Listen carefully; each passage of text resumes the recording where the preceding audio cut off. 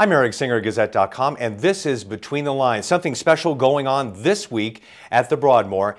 It's the International Space Symposium, and this is going to be exciting not only for learning more information about science and about the military, but also for an influx of lots of money and lots of tourists to Colorado Springs. Joining me now to fill in the blanks, senior military reporter Tom Roeder. 11,000 people are expected at this event this week. This is the largest trade show in space, and it's coming to Colorado Springs again. 31st annual Space Symposium. We will see just about every aspect of the space business there, from spy satellites to manned space launch. Uh, big players this year include Boeing and Ball Aerospace, Lockheed Martin, of course, all Colorado companies. Mm -hmm. And one of the big pushes this year for the state is to really bring business here. There are some special things for Colorado going on this month in space anyway.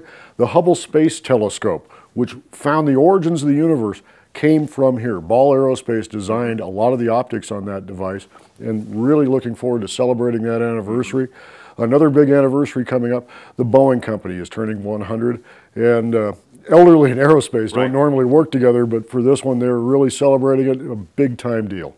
And of course, this is not open to the public, it's open to special people, but we'll be doing stories, we'll be going live there as well. Yes, absolutely. Uh, the public uh, can go, but it's a little bit costly. Registering for the Space Symposium costs $1,995. So if you have a little bit of spare change in your pocket, you could give that a shot.